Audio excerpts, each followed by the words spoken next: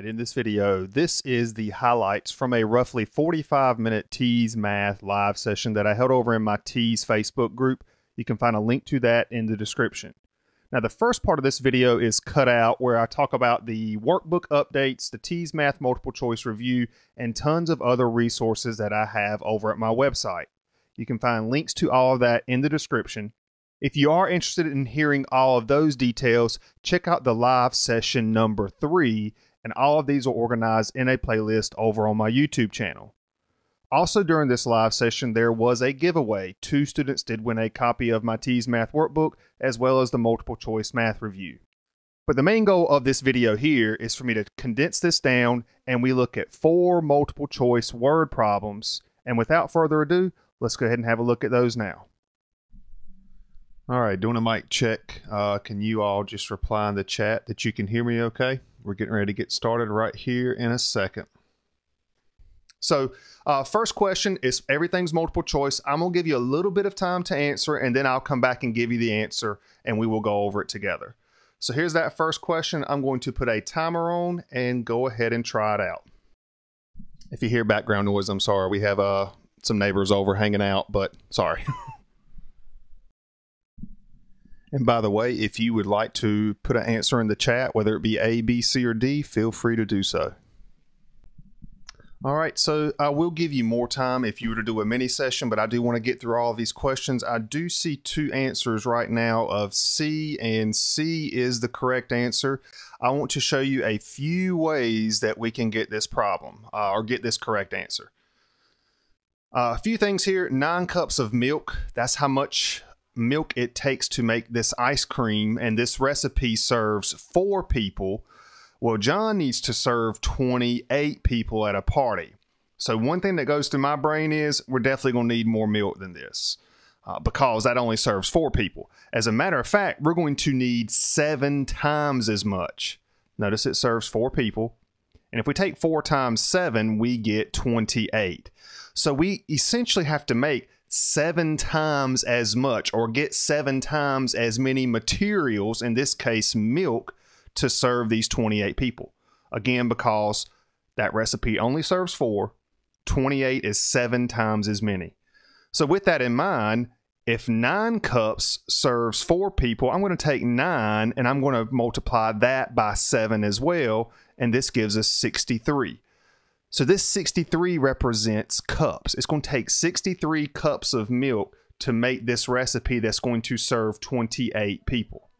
What we can do here, a quick way, is to just take the 63 cups and we want to divide this by 16 because there's 16 cups. There's that hint. There's 16 cups in one gallon. And if you take 63 divided by 16, we get 3.9375, and this is gallons. Well, the closest approximation we have there is 4. And even if this was 3.1 or 3.2, you would still have to buy, or John would still have to buy 4 gallons. Because if you needed 3.2 gallons, 3 gallons wouldn't cut it. You'd have to buy 4 gallons of milk to get the 3.2 at least. But in this case here, I mean, 3.93, that's very close to four. John would need four gallons of milk. So I do see a lot of you did have that answer correct. There are other ways of approaching this. You could use a proportion, but what I found too is sometimes a lot of students in these live sessions or mini sessions, they want to focus on speed, getting these answers as quick as possible. So um, that's a quick approach. Proportions could definitely be done, but it's a little bit slower. So um, I'm going to go ahead and go on to question number two. I want to cover all four of these tonight. And if you do have any questions, I'll try to monitor those over in the chat. But here is question number two. Give that one a shot. I'll give you about a minute, minute and a half. So as you're sitting there uh, figuring this one out or trying to figure it out, one approach is probably what a lot of people are going to do. And it's the long approach, in my opinion. But then again, if you see a problem like this, this will always work. We're trying to find one missing grade, and this student wants to have an average of an 80. So the teacher doesn't round, so the student wants to have at least an 80, and the teacher is only using these five test grades. So what I'm going to go ahead and do is one approach is we I'm going to go ahead and take the 78. That's I'm going to add up all four of these grades that we see here. So 78, 86, 90, and a 79. Now we don't want to divide yet. If you were to add on, let's add on the 65, but I'm going to remember that number right there too. 333 is going to be the sum of these four grades here. So that's never going to change. If I add on 65 to this for that fifth one, and then we divide this by five test grades, that's not quite going to cut it because the instructor does not round. So we're talking about getting at least an 80. Let's go back to the 333. That's the sum of the first four grades. And if we add on the 67, we get 400. Let's divide that by five, and boom, there's our average of an 80. So B is the correct answer, but I want to show you another way of doing this. The only way, if there's five grades, if there's five grades now, and we want an average of at least an 80, regardless, think about this. That number we just got a moment ago, 400. 400 will have to be the sum of all five grades because if you take 400 and divide by 5, you get 80. I don't care what the grades are.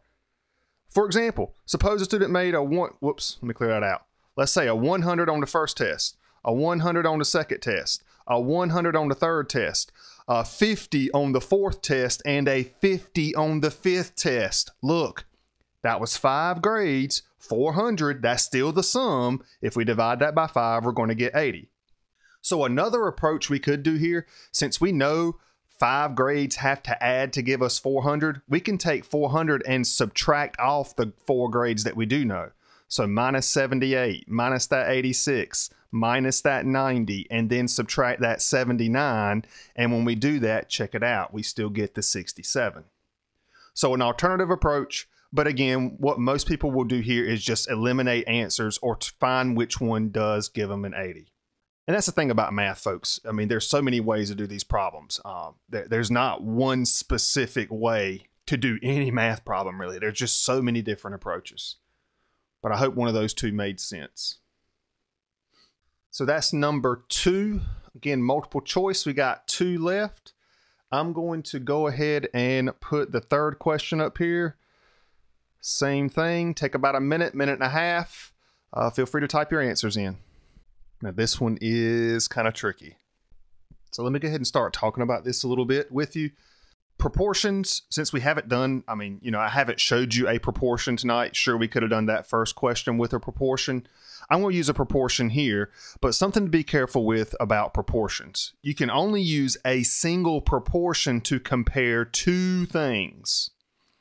For example, feet and inches, or uh, boys and girls, something like that.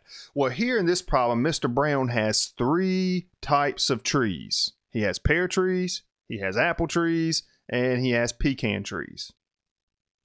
So if I look at this first sentence, for every three pear trees, so I want to put uh, pear, Mr. Brown has four apple trees. So I'm going to put a four at the bottom. And this represents apple. Now, that proportion can only compare pears, and apples. Let's look at the next sentence. For every three apple trees, you might say, well, why don't we put a three over here? Watch what I'm going to do here. So this three represents apples, apple trees.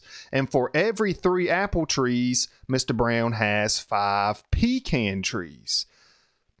So I'm creating two separate proportions because here I'm comparing pears to apples, and over here I'm comparing apples to pecans. We cannot set these two things up in a single proportion. So, why am I doing it this way? Well, now let's read this sentence right here. If there are 20 pecan trees on the farm, watch what we're going to do here, folks. Pecan trees cannot use this one. Nope, nothing's taught. We're not talking about pecans here. But where we can use this 20 pecans and my pen, there it is. These 20 pecan trees we have here, where we can use that is we can use it at the bottom of this one. I'm not even going to put a, uh, I already know that's pecan. So five, that represented pecans. This 20 represents pecans. So essentially, I'm putting my pecans at the bottom, I guess you could say. Now, how is this going to help us? Well, the only thing we can solve for in this proportion is going to be the number of apple trees we have. So let's cross multiply and divide. And something I have preached in many sessions, I've actually started mentioning it in my live sessions. The quick way to do a proportion all in one swoop is you always divide by the number that's going to be with the variable. So when we cross multiply, we're going to have the 3 and the 20 getting multiplied. And then when we cross multiply this way, we're going to have the 5 getting multiplied by the a. So the shortcut here is this, folks. The 5 is what we're going to divide by because that's the number that's with the variable.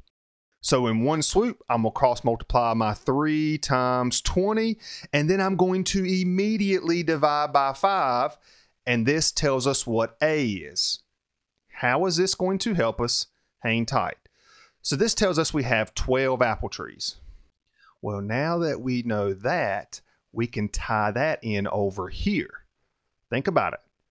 Three pears four apples. Well, now we know we have 12 apples because we use that over here. I'm using this proportion to help me with this one. And now we can solve for pears. So same thing. Quickly cross multiply. 3 times 12, that's going to give us 36. And then we immediately divide by the number that's going to be with the variable. In this case, we're going to divide by 4, and we get a final answer of 9. Therefore, Mr. Brown is going to have nine pear trees.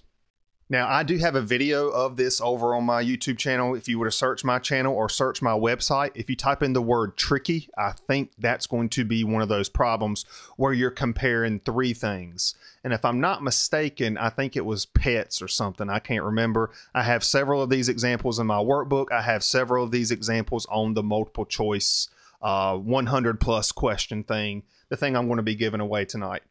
But uh, this one, I, I, know for a fact that people have seen questions like this on the TEAS test where you're comparing three things and not two things. Now, also, if you check out that video on my YouTube channel, it's the one, like I said, it's tricky or something like that. I actually show you different approaches. I just don't have time to show you all of those approaches tonight. That way I can cover all of these problems with you all. But I do like a visual approach. Um, so check that out. Yeah, that one is tricky. I know I see some comments over there. But uh, yeah, so one more problem and then we'll get to the giveaway. Last one for tonight, multiple choice, give it a shot. All right, I do see a bunch of uh, answers that are correct here. Bunch of A's, sweet. And A is correct. It's uh, 147. And what you have to be careful with about ratio problems is they're really going to get you on the type of question they're asking. So, the ratio of boys to girls, whenever you see the word ratio, and if we have boys to girls, what this really means, and folks, I'm not going to lie to you, this was a ratio problem. This one we just did with Mr. Brown, but now we actually have the word ratio. So, what this means is we got boys, that's boys, to girls, that's our girls. The order does matter. So boys is the first one, girls is the second one based on how it's worded. So if I write 3 over 4, this actually represents the boys up top, and then we have girls. Now you can set this up, whoops, that's sloppy. Um, you can set this up various ways, but this is just one way. Daggone it. So with this in mind, it says if there are 84 girls in the senior class. So since I did set up girls right here, I can put the girls right here on this side. Now, the only thing we can solve for in this proportion that we've set up, and again, something else I should hit on too, you may see ratios written like that, but you can simply write a ratio as a fraction. No problems. But the only thing we can find in this problem, folks, is we can find the number of boys. That's all, period. So let's cross multiply, same technique. I'm going to cross multiply the 3 by the 84, and then I'm going to immediately divide by the number that's with the variable. In this case, we're going to divide by 4. Press enter, we get 63. I should have actually included that one as one of the answer choices, but I, I didn't. That was my fault. So right now we get B equals 63. Now, had that been an answer choice, some of you may have picked it, and that's because you didn't read the question to see what it was really asking. The question says, what is the total number of students in the senior class? Well, we already know we got 84 girls. 84 girls, and then the 63 boys. That's the total number of students. So make sure you read this question. Total number of students. If the question did say how many boys are in the class, then yes, you would have said 63. But the total number of students is going to be 1, 7, 147, and yes, that is A, our final answer.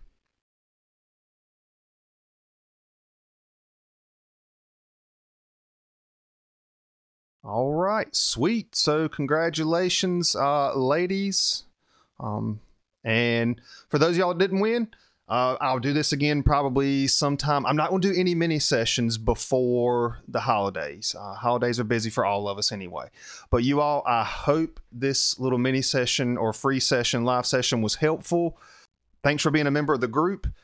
Uh, if y'all have any questions, tag me in the group, math related. I'll be happy to help.